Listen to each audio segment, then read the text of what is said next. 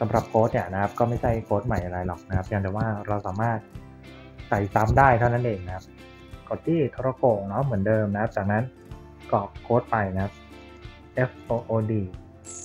F ตัวเล็กนะครับ เราจะได้ 50 เพชรโค้ดที่ 2 นะครับ Hotpot H ตัวใหญ่นะครับ เราจะได้ 30 เพชร ก็คือขึ้นทันที 30 เพชรครับโค้ดที่ 3